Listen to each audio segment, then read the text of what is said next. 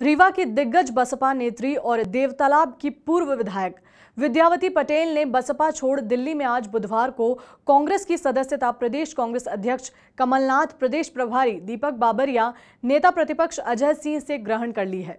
इस दौरान उन्होंने बसपा की राजनीतिक नीतियों की जमकर निंदा की और कांग्रेस में अपना भविष्य उज्जवल बताया। गौरतलब है कि विद्यावती पटेल देवतालाब से बसपा टिकट नहीं मिलने से बसपा से नाराज़ चल रही थी। इसी नाराज़गी के चलते उन्होंने यह कदम उठाया है।